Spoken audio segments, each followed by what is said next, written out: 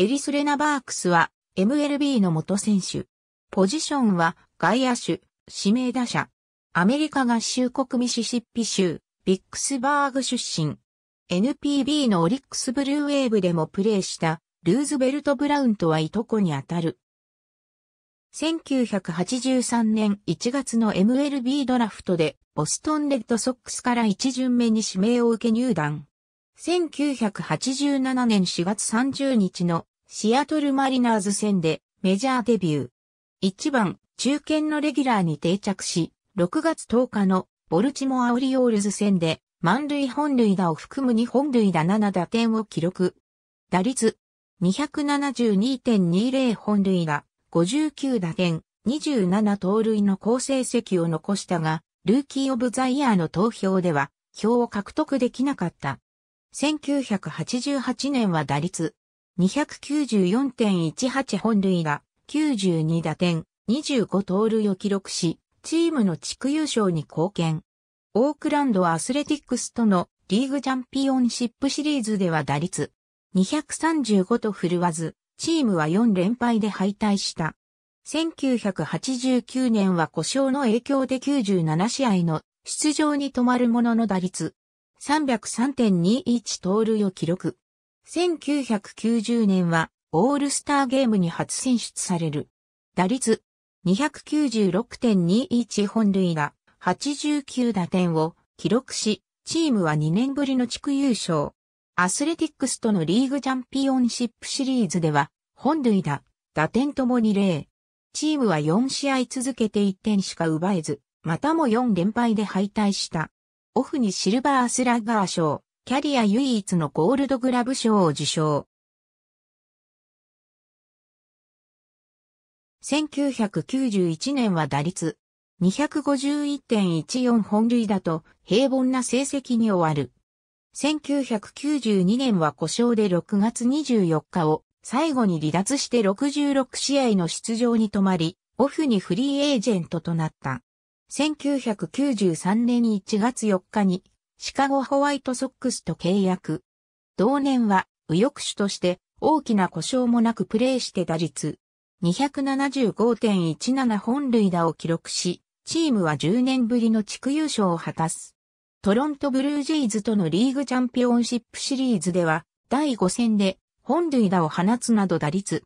304を記録するが、チームは2勝4敗で敗退した。オフに再びフリーエージェントとなり、11月30日に創設間もないコロラドロッキーズと契約。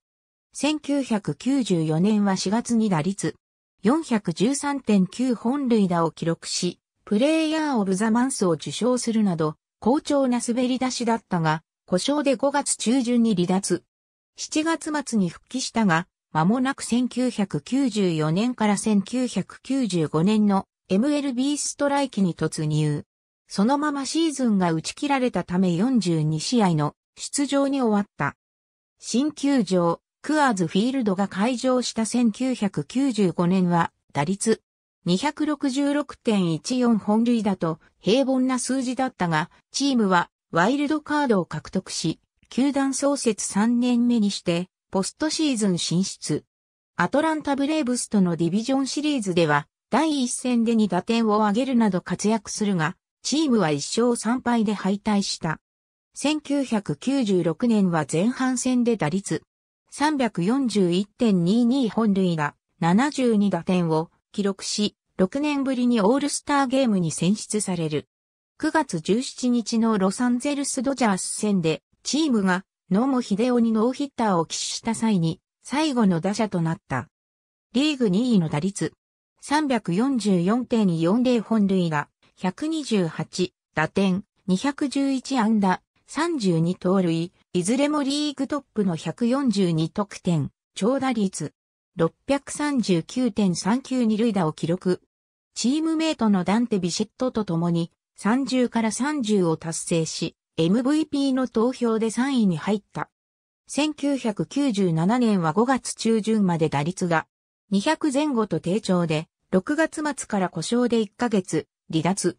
復帰後は調子を上げ、打率290.32本塁打を記録した。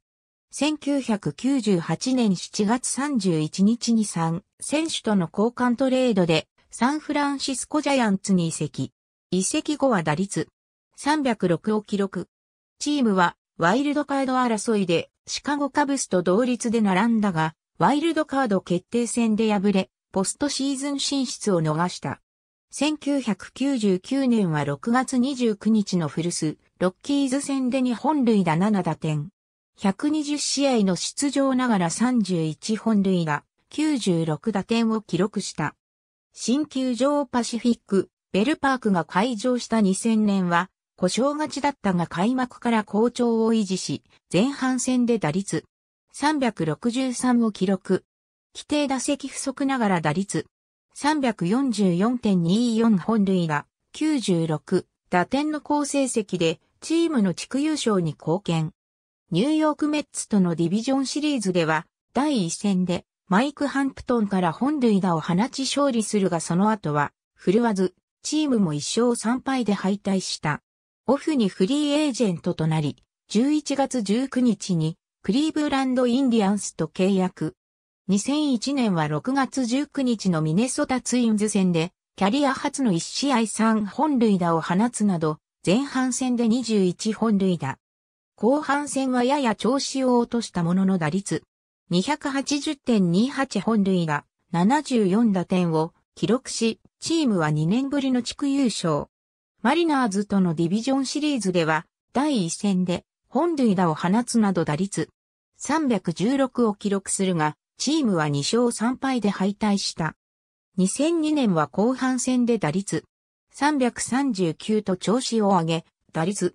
301.32本塁打91打点の好成績で最優秀指名打者賞を受賞した。2003年は6月7日を最後に離脱して55試合の出場に止まり、オフにフリーエージェントとなった。2004年2月6日にフルスレッドソックスと契約。11試合の出場で打率182.1本塁打に終わる。チームはワイルドカードから18年ぶりのリーグ優勝を果たし、ワールドシリーズでセントルイスカージナルスを下して86年ぶりのワールドチャンピオンとなったが、ポストシーズンのロースター入りはできなかった。同年限りで現役引退。